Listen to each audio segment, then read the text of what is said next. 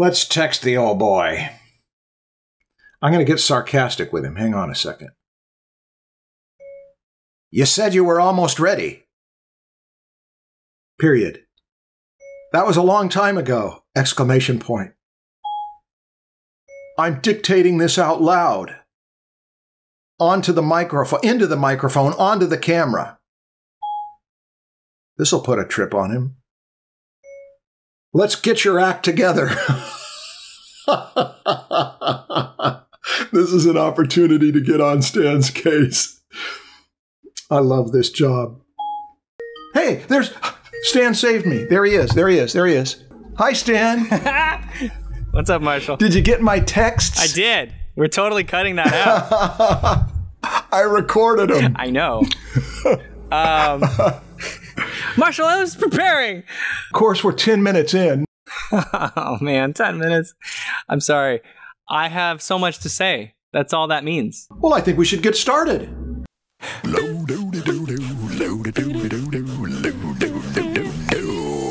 It's the Draftsmen Show. Yeah. You know, Stan, we did a uh, podcast just a bit ago that was about a book by David and Ted, David Bayles and Ted Orland, called Art and Fear. Do you remember that? Yes, we just did that about an hour ago. You don't need to say when.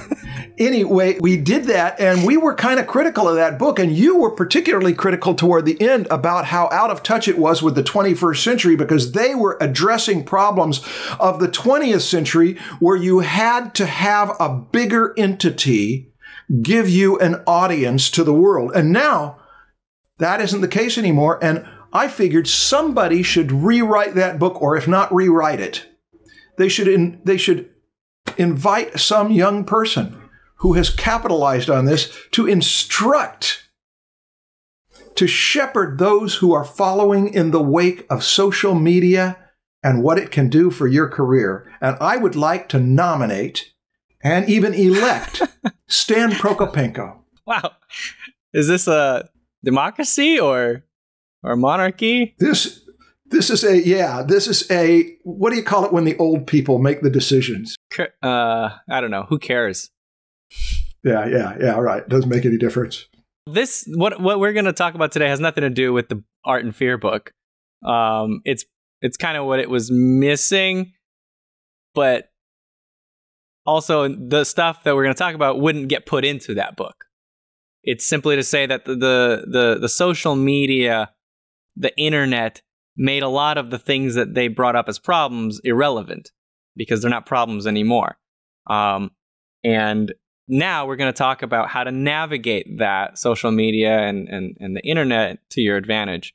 Um, but I'm not going to talk about how to create your art. I mean, th- this is what that's what Art and Fear was about.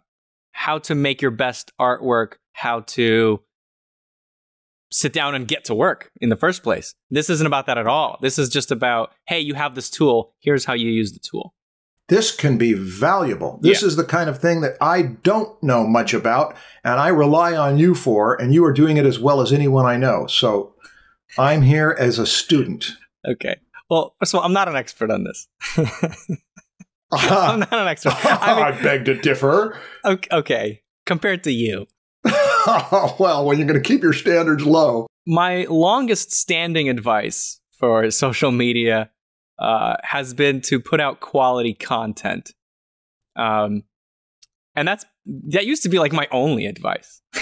people will be like, "How do you get people to view your stuff?" I'll say, "Well, make good stuff, and then people will share that stuff." Let your work speak for yourself. And that's still true, but there's a lot more to it.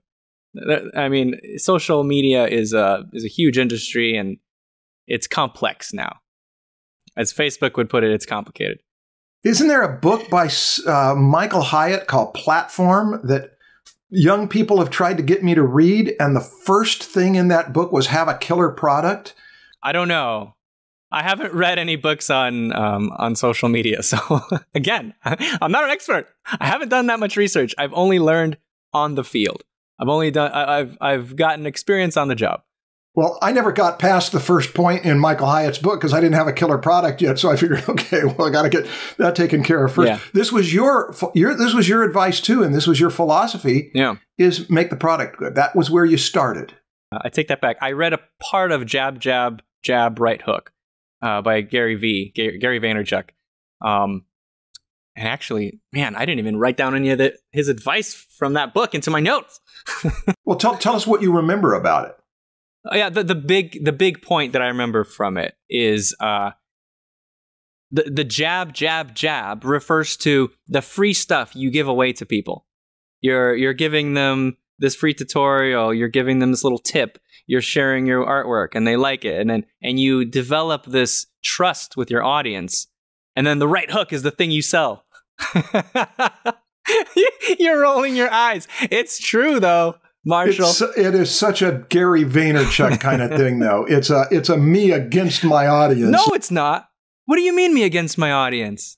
The, the, the, metaphor is a me. Uh, uh, it's what when they aren't suspecting it, I'm going to wham. I'm going to give them a right. No, I don't think Gary Vaynerchuk is against his audience at all.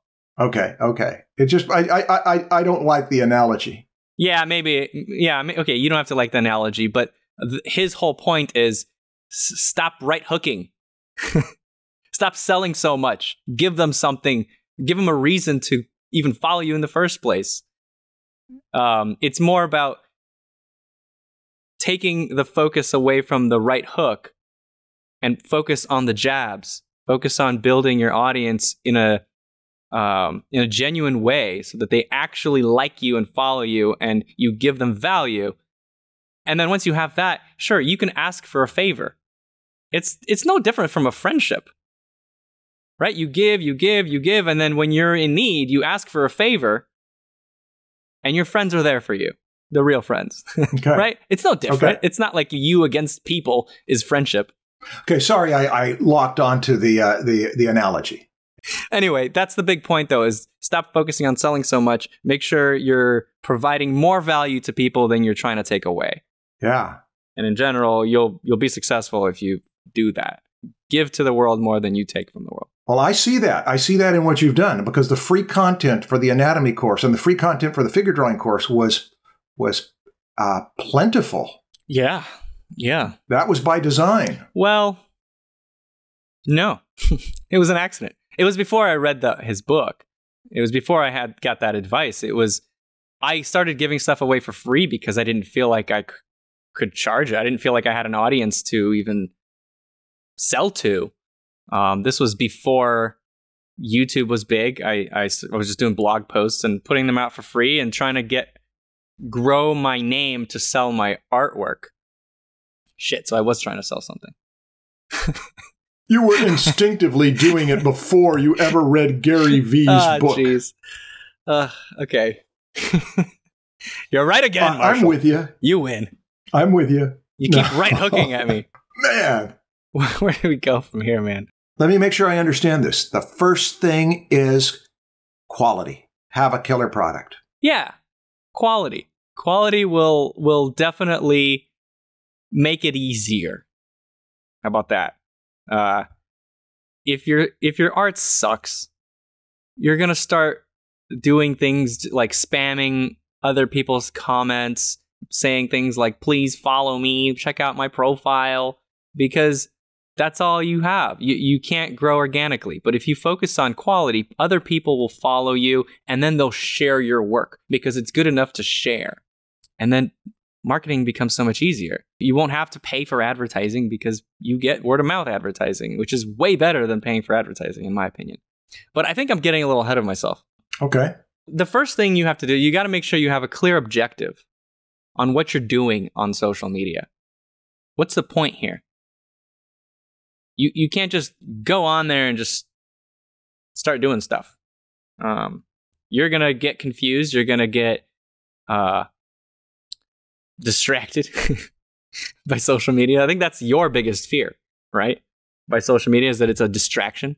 It's a time suck. Yeah. You can fall down that rabbit hole anytime you open up Instagram or Facebook or Twitter, whatever. You start scrolling through the feed because that's the first thing that pops up is your feed. Because the app is made for consumption, not for creation. So you have to have an objective with what you're doing in social media. Um, and for us artists, usually the objective is to grow an audience, get our artwork out there, um, and create. We have to go into each app uh, in creator mode. If you habitually open the app to check up on stuff, that's no good. There are times when that can be good, but again, you have to go into that with an objective. For example, when do I open it as a consumer? Sometimes, if I have a few minutes, I'm waiting and I feel like, okay, I'm going to scroll through my feed and I'm going to just go through and I'm going to um, see what I really like and I'm going to bookmark those things because everything I really enjoy gets published to the Proko TV Instagram, which is a curation of the things I like. So I have an objective there. I'm not just mindlessly going through and just looking at stuff. My objective there is to grow my Proko TV Instagram, which is curation of good stuff, and people follow that to see good stuff. Um, so that is one example where it's okay, but again, again, see, that's it's. I'm kind of creating something as well. Curation is a kind of creation, right? No, you're organizing resources and researching in a way. Yeah. You, you can confuse yourself, distract yourself, but you can also confuse your audience. You know, people will follow you if they go onto your profile and they know exactly why they should follow you. If it's all over the place, they don't know what you are, what you do, they might leave after 30 seconds because it's just that's how things are on the internet now. It's just split decisions. So you got to instantly hook them. Have a brand with every part of your profile. Your the description of yourself, your little bio, uh, the profile picture, the way you organize your posts, everything should communicate to your a, a new follower or a potential follower why they should follow you. Um, and there's many things you can do to increase that chance that someone will follow you.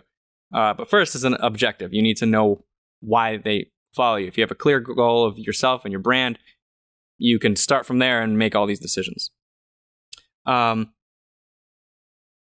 one big tip on that is don't post too much random stuff. I've made that mistake a lot. Um, my my content hasn't been super focused. I experiment maybe too much. Um, now that, that can be good, kind of, but the the artists that I see that grow the most on social media are the ones that are super focused on one thing and they give their followers exactly what they expect, exactly what they follow them for. Now, people like Loish come up. It's like her style is her style. People love that style. And every post, they get it. The person who's going there, they know what they're going there for. Mm-hmm. And so you're meeting their expectation with some surprises, but it's always Yeah. along what they're expecting. So yeah, this is a way to serve them. You can have some surprises. Of course, there's a balance there, but um, it's pretty easy to lean on the random stuff. You know, you you, Mhm. you see your friends who are, might not be creators; they're full on consumers. Are posting food pictures, posting pictures of their their, their family, pictures of them doing random stuff. Like, sure, if you're using social media as a way to connect with your friends, that's absolutely fine. That, that that's a way you can use social media, but you can have a separate profile for that. And I, I actually recommend that. I also made that mistake on Facebook, which is why I personally don't use Facebook anymore. You have two separate profiles, one for Proko and one for you personally. I do now, but it's it's too late. Like uh, I I I use my personal Facebook. I mean, I I get I got on Facebook in 2004. That's the year it started. and so back then, I wasn't thinking about this stuff to separate my professional work from. I didn't even really have professional work. 2004 is when I graduated high school. Um, and so my personal profile was my professional profile. And at one point, I reached the maximum of 5,000 followers or friends on Facebook. And my feed was just, it was bombarded with all this random stuff everybody was posting who I really didn't really care about personally. I didn't know them. They're, they were following me or trying to be my friend because they wanted to follow my artwork. But I didn't really want to follow them. But on Facebook, you had to be friends with them. And which goes both ways. You see their stuff and they see your stuff. And so I stopped using Facebook for personal stuff because I wasn't seeing any of my family and friends' stuff. I was just seeing all these uh these viral videos of uh, of just the stupidest stuff. The stuff that gets clicks and, and shares, but has nothing to do with what I'm interested in. Uh, and so I, I haven't gone on Facebook because I haven't been able to clean up the mess. Wow. Okay, this explains so much. Yeah, I think if you go on my personal Facebook profile, I, I haven't posted in like if you like the past two years, I've posted maybe three times. Uh, it's a mess. Um, which is kind of good. I don't go on social media for personal use. I, I don't get I don't fall into that rabbit hole um, that a lot of people do. It doesn't. It's not a time suck for me. That's good advice. Is it's the difference between producing and consuming. Huge difference. It's, it's two. It's like opposite things. So don't don't Yeah. combine them. So if you are going to post a lot of things for your family and friends to see, don't mix it with your uh, your professional profile, which is basically your portfolio nowadays. It is. Mhm. it's where a lot of people get jobs is they get discovered by someone scrolling through the new you know their news feed and somebody shared something and it happens to be a post that you did uh, and there you go so someone d- hires you um, i think Knight Knight was saying that's how she gets jobs right Right. Yes. it, it's very normal now to so it is your portfolio treat it like your portfolio Okay. But there's a balance to that. And it depends. It also depends on what your objective is. For me, my personal identity is part of my brand. It's not just about my artwork. Right? Like I'm a I'm an instructor, I make um, videos on YouTube. People think of me as their teacher. I'm part of the brand. It's not just about Yes. my artwork that I'm creating. And so Yes. if you want to be someone who people uh, follow, not someone who makes artwork that they follow, then you have to put yourself into your posts. You have to show your face. You got to make be personal, um, because the internet is kind of made for that. People like people, and people like feeling like they're your friend, especially on YouTube. If, you, if we're talking about YouTube as a social network, that's super important there. You you can't really get away from that. Um, people Mhm. follow people on YouTube. That makes sense. So every once in a while, I'll post a picture of uh, me and Cooper, and it makes me human. People like that, and those posts actually get a lot of likes. You know, not that it really matters, but it just it just means that my followers are okay with me posting that stuff every once in a while. Um, if I start flooding it with that, they'll I'll probably lose a lot of people, and again, not that that matters that much, but if if I don't want to lose people, then I don't do that, or I do that somewhere else. And also, it makes a difference what kind of pictures you post. You've got a beautiful kid, and uh, you did you did that that picture where you had Cooper in the place where they had the cameras all around him. Oh yeah, well that was yeah that was very uh, appropriate for what I do as well.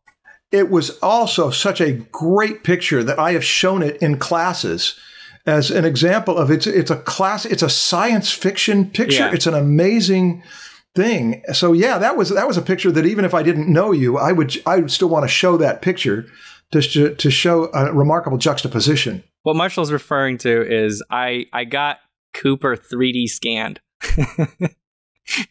um, which involves having I think it's like 120 DSLR cameras in this ball shaped dome around a middle point, point pointing all at this midpoint in the middle of the dome, and they all take a picture at the same time. And then there's software that takes all those pictures and is actually able to create a 3D object because it, uh, you know, it knows what the thing looks like from every angle, pretty much. Oh, it's so weird. So yeah, seeing this baby in the middle of this dome made of cameras is it's it's very strange. Yeah, it looked like something out of a Kubrick film. and then we we uh, we printed 3D printed that as well. Like actually, Christian printed it for me. It's really cool. We have it on my bedside. Well, that was that was a picture worth getting around. Yeah, and it's very much related to art as well. You know, 3D printing, but I, I don't just post that. It's just like uh, here's a picture of my son. I, I like this weekend it was his birthday, and I posted a picture of him in a bouncy house enjoying his birthday. But the last time I posted a picture of him was maybe a year ago, so I don't do that very often. Now we, we've got objectives that you're producing as opposed to consuming. There's some research that goes on here. There's a little bit of being in touch with what what's going on. Yeah. Just having a clear focus, knowing what your audience wants. On YouTube, it's not just separating, you know, personal from professional. It's also staying focused on what kind of content you're making. Um, if your audience expects tutorials, and then you stop making tutorials completely, and you're just posting vlogs of you having fun, um, that might be different, or th- th- that might people might be like, wait, that's weird. Or if you start posting both things, you know, like I started, I did that a lot where I, I'm making tutorials, but now I'm it's a vlog. Oh, but now I'm also posting a podcast with you and me on that same channel, and and now I have other artists that are posting on my channel, and people are are confused, and that has Huh. limited my growth. I'm I'm positive of that, but I'm okay. I'm okay with it. Um, but like I said, people like Loish who are very clear in what they are and their their focus, they grow much quicker. And so on YouTube, generally the advice is like if you have lots of different types of content you're making, separate them into separate channels so people can follow them whatever they're interested in. Which is why we separated the podcast into its own channel, right? Okay. This I'm making notes on. because you know the, algorithm. Man it's that that algorithm is what makes that uh a thing. People who followed me for my tutorials will not watch my podcast. And so when youtube sees that a large part of my audience isn't watching all these videos that i'm pop, putting up they're going to start it's going to hurt me algorithmically. But if I separate it, and people who follow the podcast now watch the podcast, and people who want, want the tutorials now watch the tutorials, YouTube sees, oh, okay, more a larger percentage of that audience is watching each video. That's good. Okay, that's useful. That's very useful. And the next one was consistency, but I think it's pretty much the same thing. You- You're consistent with what you're, you put up. Uh, then, so the next one then is frequency. Um, but actually, consistency goes along with that as well. As like people need to know when you post things, like consistency in a schedule.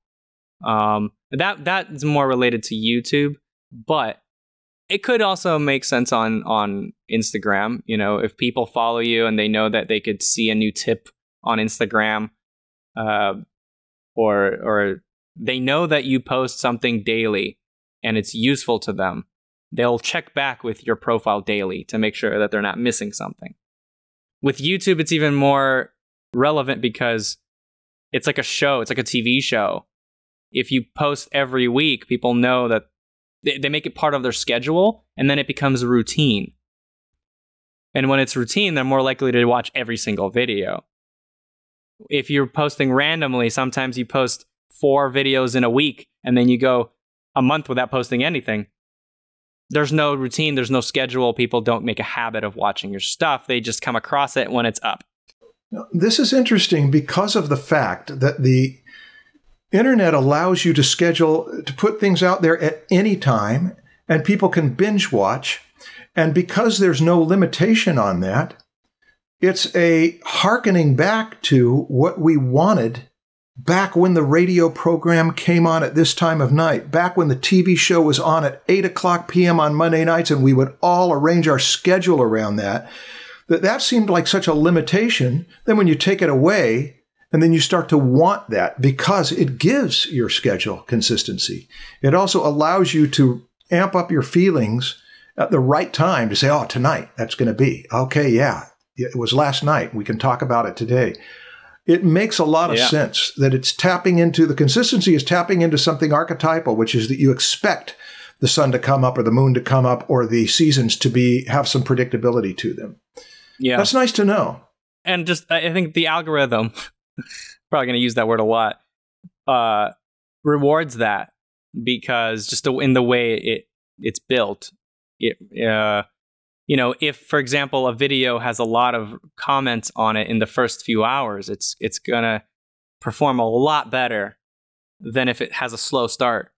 Um, there are on occasion weird weird things that happen where a video gets nothing for a year and then all of a sudden that video goes viral after like a year. Right. Uh, that that Yeah. happens, but uh, we're, in generally, a video will perform better if a large percentage of your audience watches it immediately. And so, Okay. If they can expect your stuff at the same time and they have a habit of going to it at that time, most people will go onto the comments and start liking and watching and commenting, engaging with your content, and the algorithm likes that. So timing is important Yes. for consistent timing and for striking when the match, uh, striking the match when it's ready to take. That you want it so that right when this thing goes, it goes well. Yeah. And so you release this podcast on Tuesday mornings. Is there a reason for that? It could be any day. It doesn't matter that it's Tuesday, but mornings, yes, that kind of does matter. Um, most of our audience is in the United States, um, also Canada, but that's you know same time zones. Um, obviously, we have listeners from all around the world, but if you if you look at it, it's like a very large chunk of it is in this time zone, and so we want to release it right before everybody starts listening to it um, so that Okay. the largest amount of people uh, get to it when it's published, Okay. not like 20 hours later when they wake up the next day or something. I'm so glad you and Katie and John and Sean and everyone else is there concerned with this. Th- that's why when we publish like a YouTube video, we'll promote it on on all the social networks right away. We'll send out a newsletter right away, so that we get people as soon as possible onto that video. What else? Okay, frequency. Yeah. Yeah, so with frequency, you want to post more often. Generally. Uh there's bad things to that as well. Like if if you're posting frequently and your content is the quality's lower because you're trying to post more, that's not good. Um I wouldn't lower quality to increase frequency. Uh so keep that in mind. But if you can, for example, somebody like Karl Kopinski, just sketching all the time, he I, he said something to me like he used to think his sketches were nobody would be interested in his sketches. It's like who cares? He they just want to see the final painting. But then he started posting his sketches that he does every day, and people like those even more, Huh. right? People because his sketches are just so good, though. That makes a difference. Yeah, that makes a difference. If your sketches really aren't that great, that's not going to work. Uh, focus on posting your higher quality, refined stuff. Um, but it's okay to experiment. so he's able to post every day and keep the quality high. And he posts every day. Yeah, and he keeps the quality high. But I've actually, you know, I've noticed Karl posts a lot of older artwork. He he reposts. And it helps to have a large body of work to be able to repost so that people who see it don't feel like I just saw that last month. Why are you posting that again? You know, he has thousands of sketches, so he can take something from 4 years ago, post it again, and people feel like it's new. You can you can recycle stuff and keep people um interested in that way. Yeah. You have a buffer. Yeah, exactly. Um, but you, you, so I'm just saying that you you can increase frequency without having to produce more every day. Um, you could be creative with the kind of content you're you're publishing, and while still keeping it high. Okay. But it, it really depends on your brand and what what you do. You know, Gary V publishes just he publishes so much every day but you know it's his team producing all the stuff recycling things from all over the place creating new content out of old content. Um, but that could be a full-time job. Yes. so templates and checklists make things faster for you. Explain. for every video i have a meta a meta doc that i just duplicate and then in there is like okay what's the title of this video? What's the description? What are the keywords what's the social media post what's the email message The idea is that you don't have to think things through Yeah. anew every time. You, you have some things that are givens for everyone, which speeds things up. Exactly. And it's a template. I go through and I'll, I'll, I'll fill in the blanks, and my team can publish it for me as long as they, you know, I've approved all those things. Um, you don't have to think of each one as it comes up. You just go through it once. That's it. Okay. So a template, a checklist of every social network you're going to publish this on. Maybe if you know if if Instagram has a specific resolution that it likes with ideal ratio of width to height to make the image bigger, which is four by five, by the way. Um, that's the biggest image you can get on Instagram because if you go any taller, it starts to add. It has to shrink it down. Well, Instagram tries to make your images full width. So if it's a square, it's Uh-huh. full width. If it's even taller, it's still full width. And so now a square versus something a little bit taller than a square, the square is smaller because something a little bit taller has the same width, but now it's a little bit larger vertically. But as soon as you go more than four by five, um, it starts to add white edges on the sides, or you it'll crop the top or the bottom off and force it into a four by five. So instead of trying to figure out how to crop it while you're in Instagram, you could just have that laid out in Photoshop. Open up your template, throw all your artwork in, create your slideshow with the same with the same uh, ratio. Makes it easier to post. It's done. You always are maximizing your your screen real estate that way. Yeah, but you don't have to. Some paintings are horizontal, so Yeah, good thinking. yeah. It makes things efficient, and and you're, you're it's making the space efficient and your time efficient. Yeah, but the point here is templates, yeah, efficiency of time, not necessarily screen efficiency. I mean that that's a that can help, but not necessarily. You can post a, a horizontal image and it'll still perform really well. Okay. I want to kind of go back to quality for a second because I didn't cover everything. If you don't think it's good enough, don't post it. Just because you it's in your schedule to post something today, if you're not happy with it, don't put it up. Um, it's it's more imp- important to keep the quality high. Uh, I think I've told the story that like my first YouTube video that I published was not the first YouTube video I made. I didn't publish the first video I made. It was not that good. it was pretty bad. Um, and along with that, if you posted something and then, you know, a few days later you think, oh, you know, that I really don't like that, take it down. It's okay.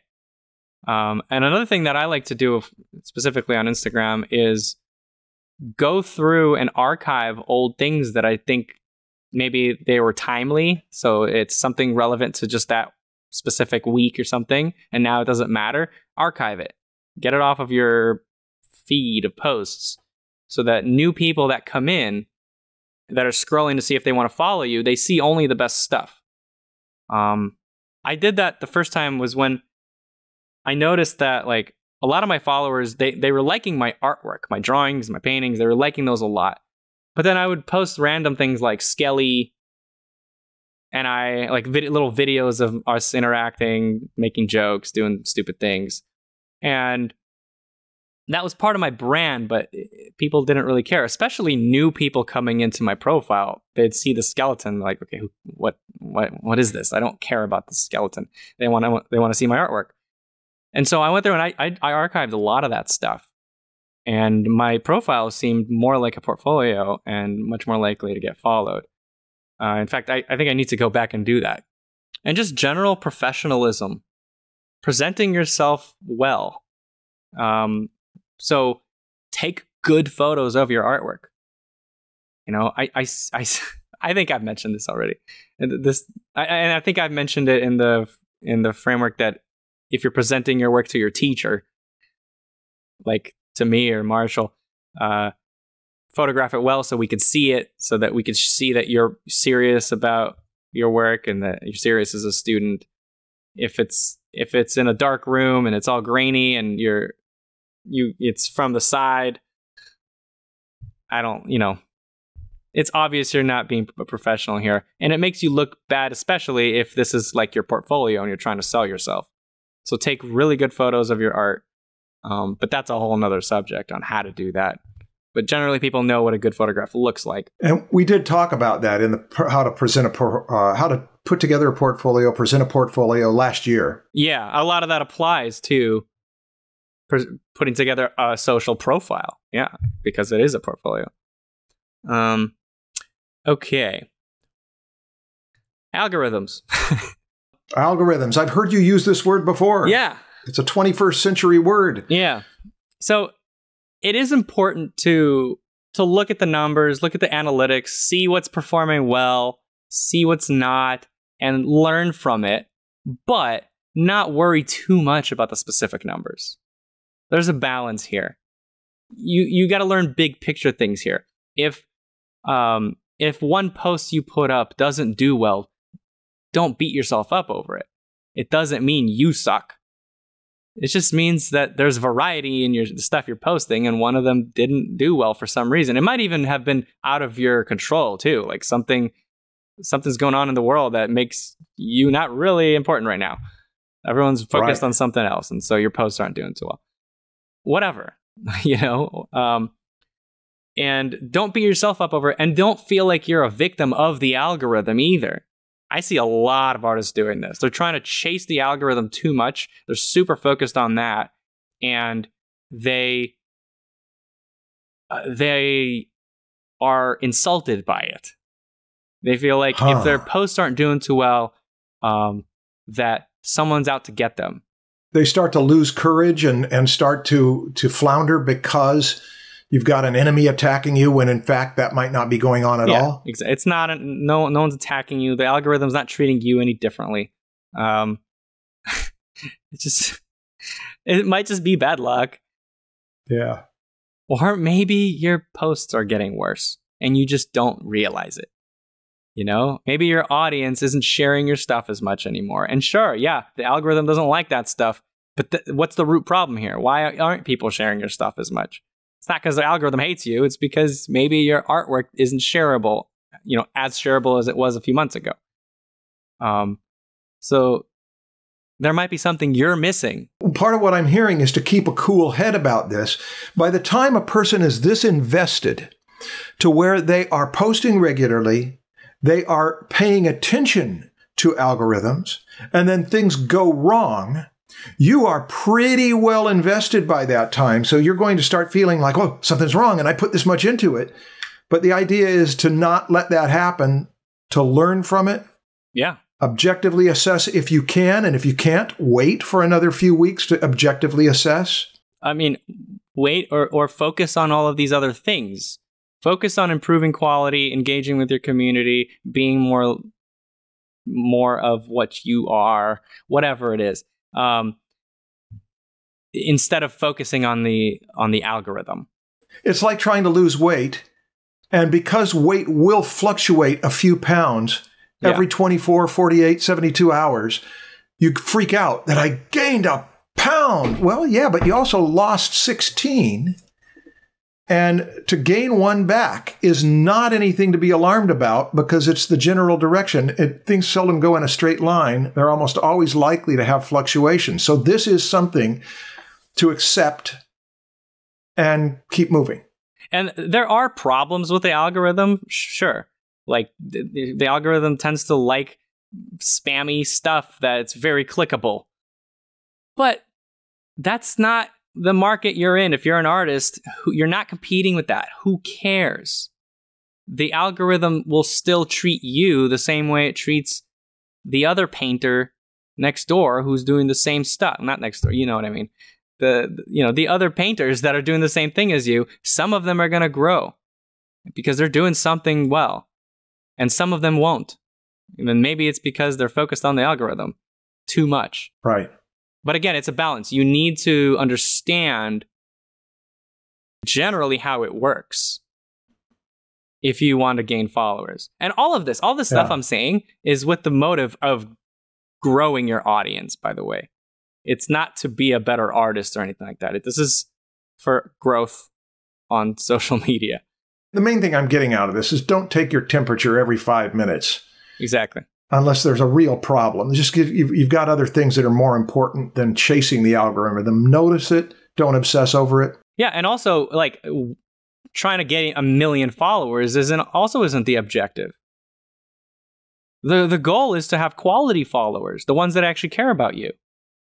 Yeah. If you have a thousand followers, but they're very engaged, they're very involved in your work, um, that's good. It's more. It's it's way better than five hundred thousand followers who, uh, really don't care that your account was all grown by by spam and bots and follow for follow. You know, th- there's these these bots that you could set up that they follow other accounts randomly just so that, that some of them might follow you back. It's like that, that, that follower that just followed you back is probably doing the same thing. They're just following you because they're trying to grow their artificially grow their profile. If you grow that profile artificially to 500,000 followers, that's less valuable than a thousand followers who like you. That that's steroid growth. Exactly. Yeah. Yeah. Right. Yeah. It's not healthy. Um, so don't game the system artificially. Try to interact with people as people, see what they want, see what you want to give them, and be honest and and be uh, be genuine. Asking Marshall and I for help with drawing skills makes sense. But some life issues require a trained professional. If you're looking for a therapist, consider trying BetterHelp. BetterHelp takes the pain out of traveling to an office because everything is handled online. You can schedule appointments at your own time and in the comfort of your own home. Sessions are conducted by secure video or over the phone. Plus, you can chat and text with a therapist. A positive way to deal with the hurdles that life has to throw at us is to talk with a trained professional.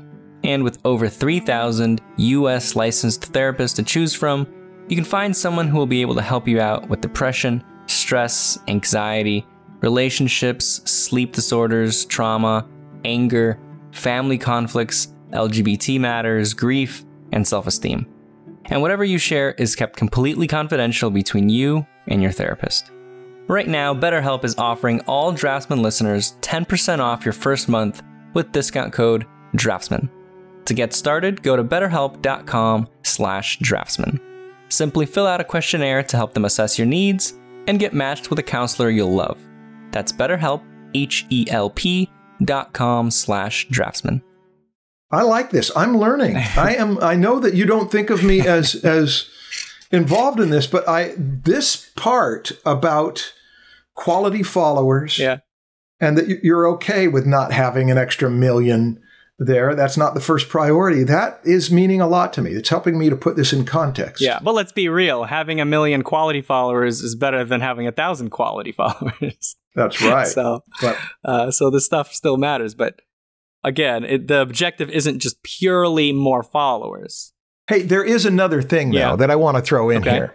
Seth Godin pointed this out that there was a, a woman who was playing music on a street corner, and people would walk by. Ninety some percent of the people would walk by and pay no attention. Yeah. But the fact that if there's just one percent that donate, and that's enough to pay your bills, Yeah. you've got a career in doing your music because there's just enough. And I've I've felt a, a good deal like that. I, I don't feel like I've been that ambitious. I've always felt like the uh, quality was more important than making more money. Sometimes it isn't. Sometimes you have to have money and you have to chase that. But the the an ideal life is to have enough money and to be doing something that you want to do with the people you want to hang out with. So yeah, this this does make sense to me. It's not the the idea is not to get the biggest. It's to try to create the best if possible. Yeah. That's where it's speaking to me. That's when I'm when I'm listening to this. That's the personal filter that it's going through. Yeah. So, I mean, along those lines, though, like, I think I mentioned it earlier, is like, don't go around spamming other people's comment sections saying, check out my profile. I see that so often. And I just cringe because it's like, they're, they're wasting their time. Yeah, it alienates actually. Yeah, they're burning bridges. You know Yeah, how many are. people are going to block you for just putting that comment in there? You just lost more potential followers than you've gained. Um, Yeah, and you know uh, uh, and you do that on enough big people's f- profiles and those big ar- big people and by big people i mean like people who have a lot of followers um you do that to all the the, the people that have a lot of followers and they all block you, they'll never see your work again. Right. Having one of those people with a lot of followers share your work because they like it is a big deal. Yeah. That could be a huge boost in your in your thing. So don't do that. It's like coming into a social arena saying, I'm looking for a long term relationship. I got a lot of debt. I'm real needy, but hey, you know, if you want to connect with me, here I am. It's like right away everybody's like, I don't like you. Get out of here. That's not what this is for. Um, plus, a, a lot of people are going to flag that comment as spam, and so now the algorithm hates you. You're fighting against yourself.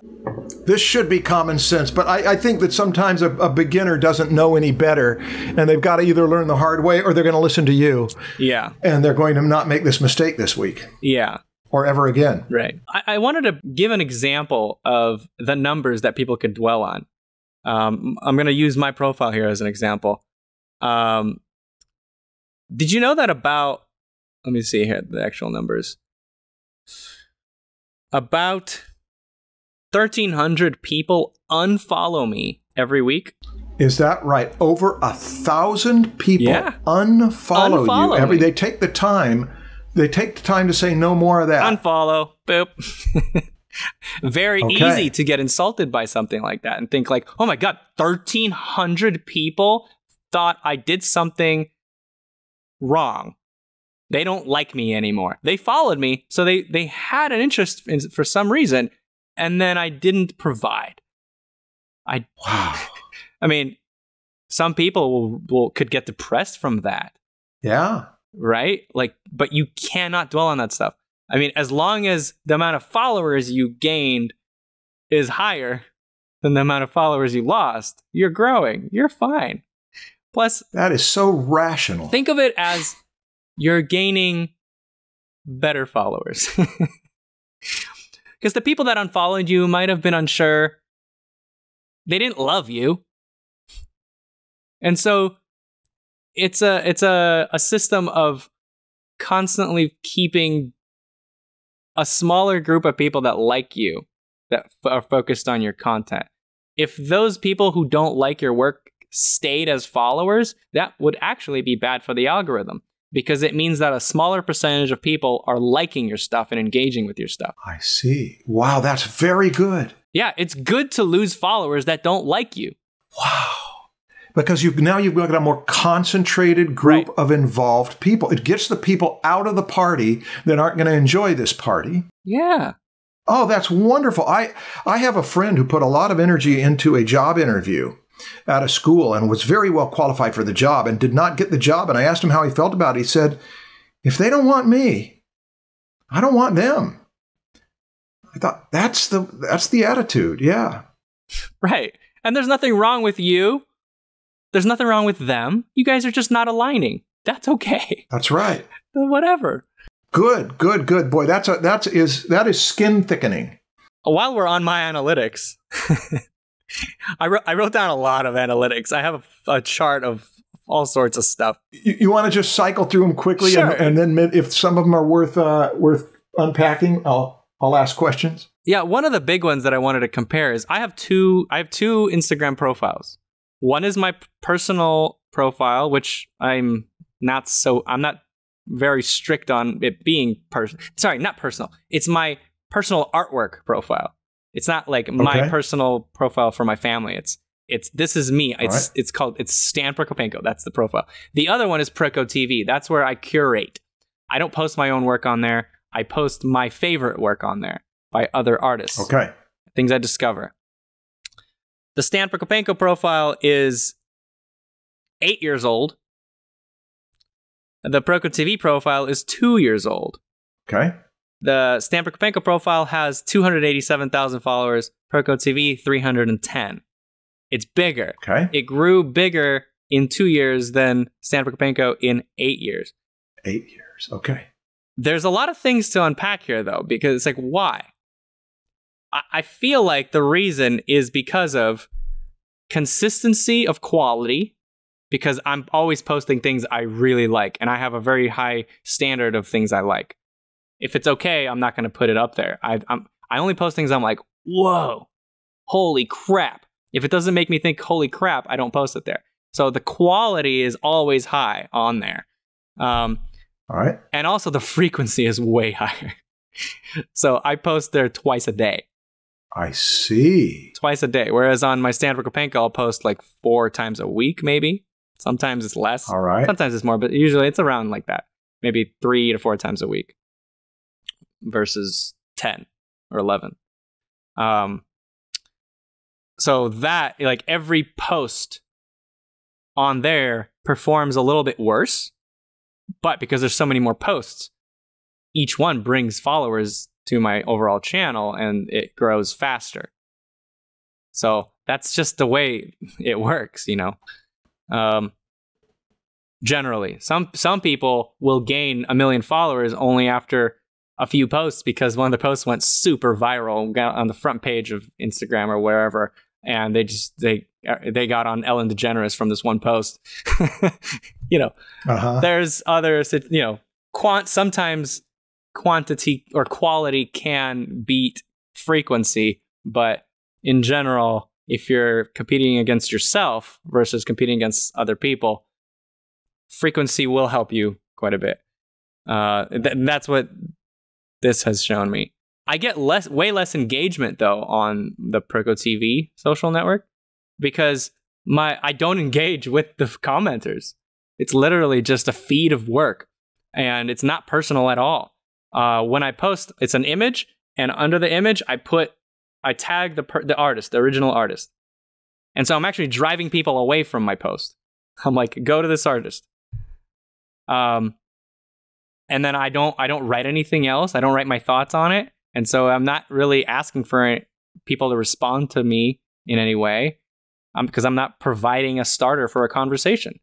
So they get they get less engagement. So if you can combine the two, if you can combine frequency and engagement, I feel like the growth will be way faster than any of these. Well, that that's useful. Yeah. and I think it's even more useful for people who are involved in this and they know they are experienced enough with this to have had their successes and failures, and then to hear it from you, Yeah. and and to confirm or challenge some of the things they've had. Yeah. Uh, Marshall, yeah. did you know that I wrote an algorithm? Well, I knew that you had done some coding. No, no, no. I mean, I, I an actual social algorithm for the new website. So you wrote it. Yes, I came up with the algorithm for the new website that will come out some in the next how many months? I don't know, a year. Um, but you know how? I mean, you've seen the website. There's a news feed in, in your profile, and not in your profile, in your classroom. Uh huh. There's a news feed, and it shows you posts. It's not chronological. There's an algorithm, and I wrote it. And in I writing see. that algorithm, I I did a lot of research on how other algorithms work, and it's Uh-huh. really difficult to get away from frequency being a, a, a big deal. Okay. It's re- it's really difficult to write an algorithm where frequency doesn't help you. Frequency weighs a lot in the equation. It's just how it is. The more you post, the more ch- there's a chance to for every post to bring in more followers. Well, there's something to be said for that that is is useful in the difference between television and movies. People, students of mine that go into movie concept art, it's a whole different thing than television. Because with movies, you might have a year or two that you work on a movie because it's this long range project. Soon as you go into television, you have constant, it has to be on TV every week. There's constant movement. There's never a time to rest from it until you're between seasons. And so people have talked about that phenomena as the tiger that you dare not dismount. If you're going to open up your social media, if you're going to be making your living from a frequency, then it means that your life will be arranged around it schedule wise. Otherwise, you end up losing it. Yeah. Um, but watch out about you know don't burn out. Don't burn out. I, uh, I think I see people getting super involved in it, uh, and they spend too much time trying to post as much as possible, and then they just they get way too involved. They notice they're they're not producing as much work anymore because they're now they're just trying to stay involved in social media, and then they burn out and then they just leave completely. That's not good Yeah. too. That that consistency goes away in that case if you're just always leaving, you know, uh, close, you know, taking down your profile, then coming back and taking it down again a year later and coming back, and you're that crazy artist that everyone's like, what is going on with this guy? Um, so, you know, stay healthy, keep analyzing. If if it's weighing too much on you, reel back the frequency. It's okay. Keep the quality high, and you'll still get growth. It just might not be as quick, but that's okay. It's more important Okay. to be healthy and not burn out than to Okay. stay perfect with the algorithm. So yeah, this this is you've got a scale and you've got some frequency weighs very heavily, but there are several factors on any one side of the scale. Th- those are the big things. There, there's a few like little side tips. Um, a- and I think a lot of these are pretty obvious, but I just see it all the time. Is like, don't put yourself down. Um, don't approach. Don't don't let your brand be your imposter syndrome. Hmm. It's like you post them like, uh, I'm not happy with this, but you know, it's okay. Or like, oh, I was having a rough day, but just feel like posting. Um, you know, it this is again, this is your portfolio. And don't hedge. Don't say like, you know, oh, I only had two minutes left over today and I did this sketch, whatever. It's like, okay, is it is it good? you only had two minutes, but is it good? Like, if it's not, don't hedge to say it was only two minutes, so that's why it sucks. Eddie O'Connor calls that sandbagging. Sandbagging is that the same as hedging? I could have run that race much faster, but I had to carry this sandbag. Yeah, And so it's a it's a way to excuse what we did not do as well as we could have. right. If it's bad, don't post it. And and also stop thinking everything you do is bad too. you know, and if it is bad, but it's the best you've done, celebrate the the fact that it's the best you've done rather than I'm still not good enough. Okay. I know you're looking right into that camera at me. what am I? Wait, am I? no, I'm I wasn't. I'm teasing. I wasn't. I play, yeah, I, I know. I know. but yes, I, I, think that a lot of people have this happen. Yes. Did you have it happen? Because you don't seem like you had it happen much. You'll have to ask John because uh, he comes to me with he'll like look through my archive of artwork, and he'll pull something out, and I'll be like, "Oh God, I hate that one. No, don't post it." And he'll pull another one, like, "No, no, no, no, that one sucks too." Yeah, you got a truth teller on your team. No, I I'm the one that says that. You oh, he isn't the one saying No, it. You're the one saying He pulls out stuff that he wants to post, and he's like, "Is it okay if I post this?" And I'm like, "No, no, no, no, that sucks." I'm like, "No, no, that one's Okay. that one's really that's even worse." And and I don't know, like to him, he's just like, "What are you talking about?" but Okay. you know, so maybe maybe I have some of that, but I feel like maybe I just I have an eye for it, and he's not an artist. He's not a trained artist, so maybe he doesn't see it. But he's always telling me like, "Dude, this this is fine. This is good. Like, we can post this." But I'm just like, "No, don't post that." Um, so I don't know. I don't know who's right in this case, but there's two sides of this. If it really does suck, don't post it. You don't need to post on a schedule if it's bad. Keep the quality up, but also don't think everything you do is bad. I feel like I post enough, so You oh, you post enough. Yeah, th- this was a major point that Art and Fear made, which is that you've got to do lots and lots and lots of work to get that small percentage that is your best. It's been a constant theme with people who are realistically training creative people. You cannot expect 100%. You can't expect even 50%. yeah. You've still got to produce and produce as good as you as well as you can, but there has to be an understanding that your best will be your best, the smaller percentage. Yeah, well, a lot of what I'm getting out of this is that there's multiple factors to juggle, multiple things to take into account. Yeah. But but also just try to sell yourself all the time on there. Be positive about yourself. Don't don't try to convince everyone that you suck. Mhm. Okay. You post something that you might not be fully proud of, which you know, how often are we fully proud of every single piece of our work? You know, we're usually going to see something we want to fix. Don't point that out. Because if you just constantly point out the bad things you hate about your stuff, then other people are going to start noticing those things too. Focus on the good, sell yourself. What's the point of ruining your work for other people that that like your work? We are recipients of this knowledge. We will act on it this week and in the coming year. This one's like the most obvious one, but I still I still see it. Don't make your account private. I've got this restaurant. We've got the best food in the world. I'm not serving it to anybody. My family and I, though, what a great time we are having at dinner. Yeah. Don't you wish you were here? Yeah. I don't know. Oh, but you know, there could be something. There could be something about that, though, that creates, you know, creates scarcity. You know, There I I feel like some accounts use that for for that reason and they Mhm. but people people know that if they request access they'll get it. So your account is private, but you have to request access to get into it. But everyone is accepted. But then when it's like when you're in, you don't want to leave. kind kind of. yeah.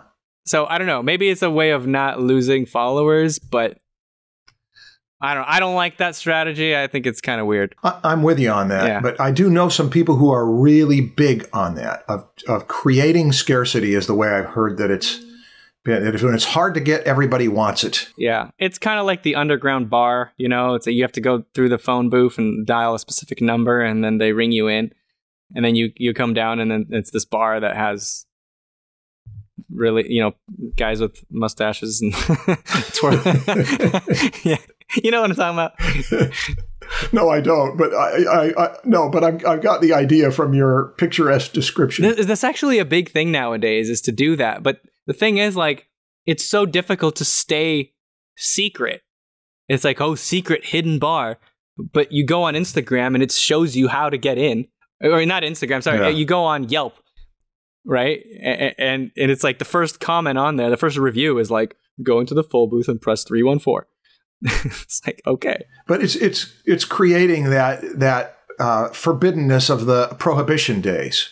Exact. It's exactly what it's. It's That's why you've got somebody dressed in an archaic way. Is that this was there was a time when you had to do this secretly, and now that it's okay, we need to bring back some of that forbiddenness to give us the tang of hey, we're doing something outside of the mainstream. But I feel like nowadays it's more about the brand of having you feel like you're getting into the secret thing. It's not actually about being secret. It's our club. Yeah. They're not actually like making their Yelp profile private so that they're not actually being found. Their Yelp shows exactly where they are. There's photos of what it looks like on the inside. Their menu is right there. So it's all about branding. A little bit of an initiation. Uh, but it's just funny. Like, there's people that'll that'll message me and be like, "Can you look at my profile and um, tell me what you think?" And I'll click on it, and it's private. And I'm like, "Oh God, okay." and even, you know, what's the the funniest? This this is I'm super confused by this. Some people will spam the comments and say, "Hey, follow me," and then you go to their profile and it's private. that confuses me. I don't know what they're doing. It was not thought through. No.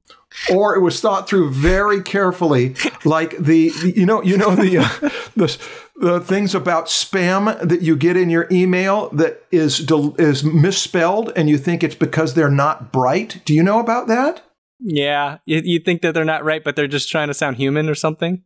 no they are they are deliberately designing those things that have spelling errors so that a person who doesn't notice those spelling errors a person who's more Oh. easily preyed on will take that bait That makes sense, but I still don't get the go follow me. Yeah, so it, it is exactly the opposite of what we thought. Hmm. Yeah, no, I I don't think it works. Anyway, yeah, I might be giving them more credit than than should. I I think you are. Don't make your account Yeah. private. Um, Okay, I don't think people that want to hire you are gonna appreciate your account being private. They're just gonna leave. yeah, It's like what if you go up to a, a, a studio trying to get a job, and then you're you, you're like, uh, uh, uh, uh. you can't look. Nuh-uh.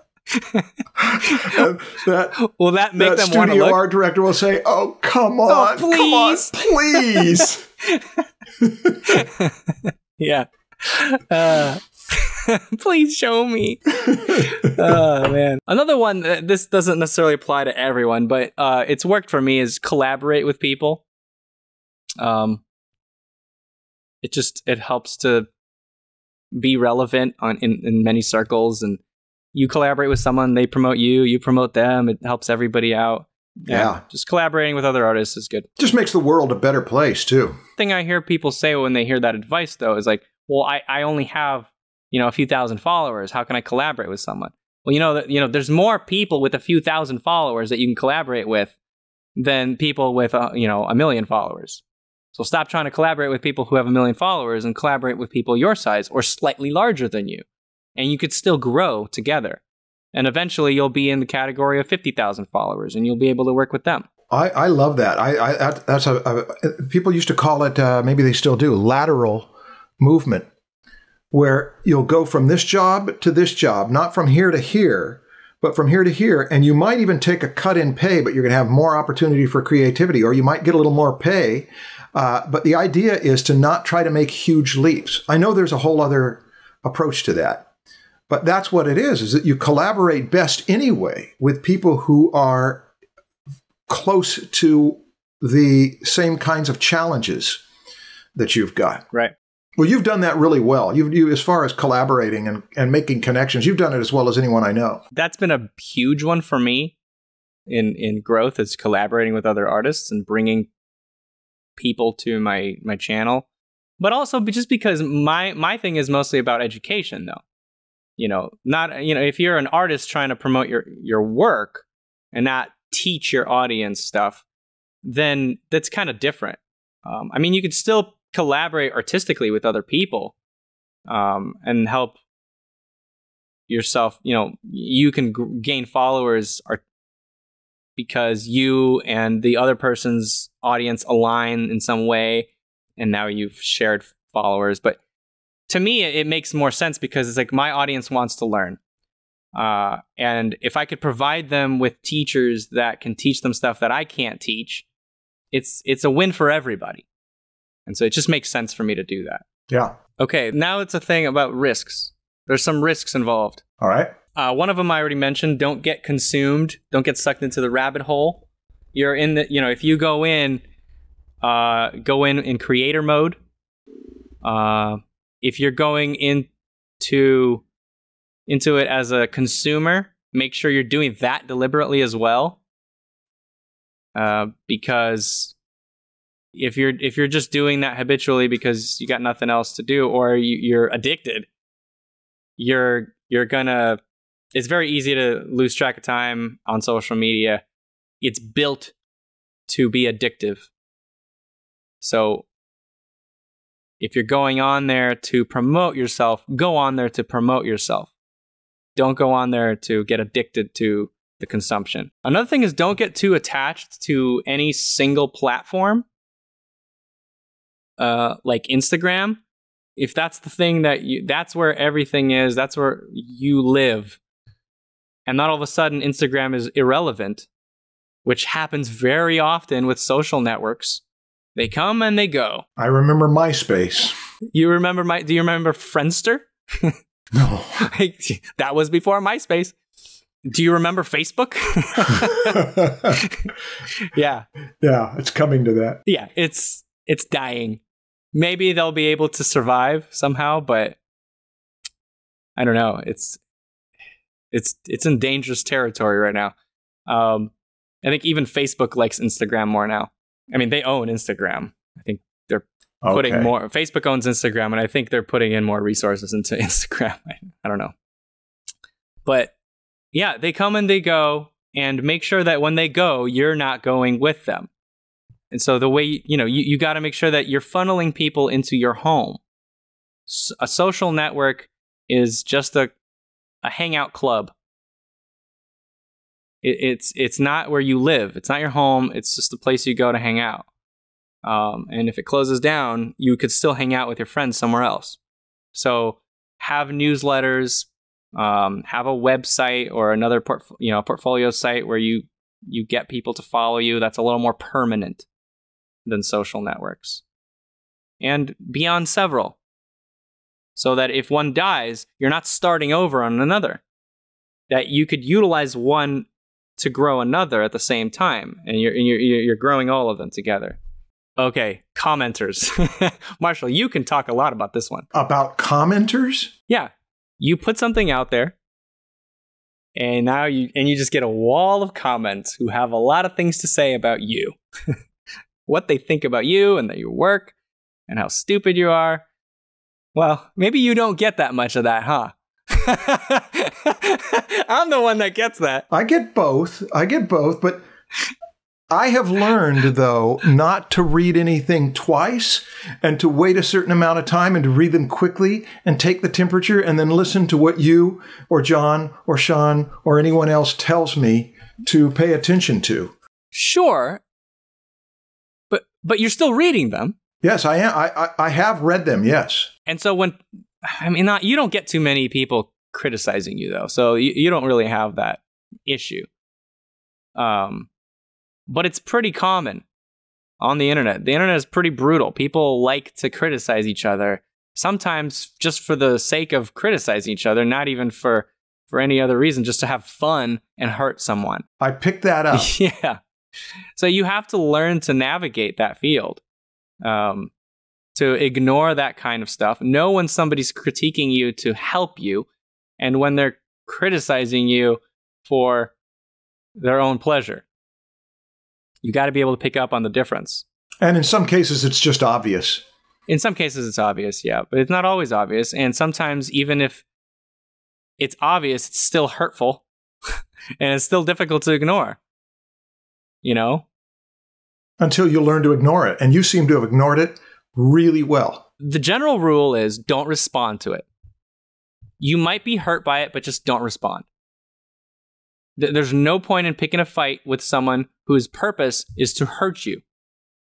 Just walk away. You're not going to get anything out of it. Yeah. I have a friend who is really good at this. Uh, I don't mean on social media, I mean in personal life. And I remember asking him years ago, uh, some people that he worked with that were so intent on harming others and who his life connected to and my life connected to. And I remember him when I mentioned, How do you deal with so and so? And he said, He mentioned their name and said, I don't give them two thoughts and changed the subject. And that made a big impression on me that I will give them one thought because it's hard not to, but not a second thought. Because a second thought means that now you have you have put your hand into the tar now you are going to get stuck with it. Does a single thought ever lead to a response, though? Uh, oh, with, him? No, no, with you. If you have a single, if you give each comment a single thought, mm-hmm. does that ever lead to a response?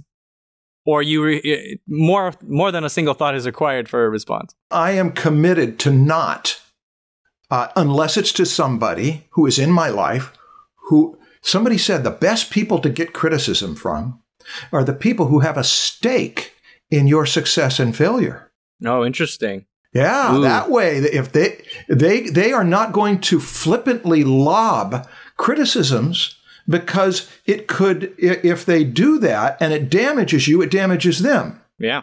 But if they see that there's something you're really doing wrong here, they will come to you with criticism because they are it's a matter of of extended protection, self protection. Yeah. So those are the people who, who have a stake. If they have a stake in your success and failure and they are criticizing, those are the people to listen. That's, that's that whole thing about parents listen to your kids. Uh, they're not just there to attack the parents. We are part of this family and we're the more vulnerable people of it. So that is something, both the don't give it two thoughts and they also give it many thoughts if it's someone who or you are co-partnering with and who cares about how things are going. Yeah, that's good. I like that. Um, but along the lines of comments, uh, with comments though, not just for criticism, but also when people are being nice to you, but just telling you what they would like to see from you. They yes, they want different. you to be different in a good way, but different. You're you're gonna get people that say, "Hey, can you do this instead? I want to see this from you." and you're gonna you're gonna get people who who give you advice and tell you what they want from you from all over the place. You're you're gonna be pulled in many directions, and if you start following that, and, and you you stray away from what you want to do, then you become someone else, and that's not good for many reasons. I mean, Art and Fear talked about that, like we we talked about that, um, but one of the reasons is that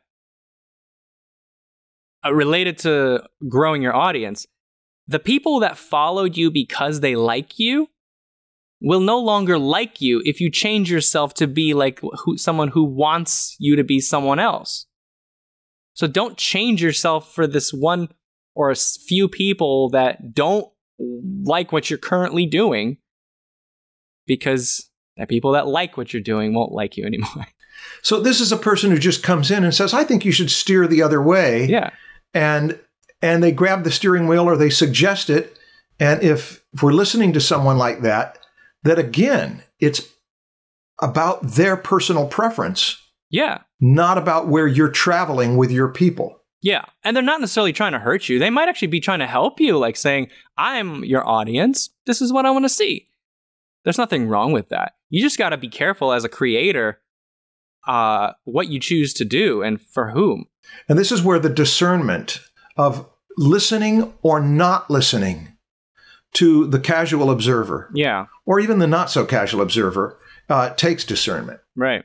And there's some creators that uh, just get into the habit of constantly going all over the place because they are not, they don't really know what they want to do. And so they just listen to what everybody else wants them to, to do. Well, that's where reading Steve Jobs' biography Oh, yeah. That's where that's where looking at someone who says, "I am not listening to you. I'm listening to what I want," and people will find out that they want that too because they've got a really strong vision of it. So anyway, that's that. That's how you grow your audience. Stan, thank you for telling us how you grow your audience. You are teaching something that you have done. This is not theoretical. This is not someone who studied a book about it. This is someone who I have observed now for three years, little or no, no, seven years, a little more than seven years, since 2013. And I've watched you grow your audience. And so, yeah, I'm, I feel privileged to have had the conversation with you. And also, I want to add something in here about what Stan has done. Stan started this out on his own, and he has one person at a time added people to his team with discretion and wisdom and knowing who to add on to his team to take over work that makes your job easier and your company better because you've got people who are doing the work in a way that you couldn't do as well or that, that, that and they're putting the time into it. So yes I, i'm glad i've got to be a student and i think i did get some things out of this. I think the main thing i got out of this Frequency. was the oh well, well no we have been with the draftsman thing we've been keeping up on the frequency whether we're happy or not. well, that's we've been consistent. consistent okay. But once a week yeah we've we've been pretty much doing that. Okay now but here's the other thing is values and priorities of what's important. And i have made up my mind over the years but very much in this last hour or so that if i can do the thing seth godin was talking about if i could get my bills paid to have the smallest group possible maybe a dozen maybe three maybe a hundred the smallest group possible of people who really wanted what I had to offer and who people who I feel invested in, I would be happier with that than to have a bigger audience of people who were not as involved because the Yeah. the watching the growth happen, the the village thing that goes on where you're you're involved in it, that's there's something really satisfying about that. So that becomes a part of what I put on my whiteboard and uh, becomes a part of how I'm going to navigate when I'm in crises. Cool. What should they put in the comments? Which one thing from all the things I talked about are you going to put into practice right now? That's a good one. Cool. All right, Marshall. See ya. See you next week, Stan.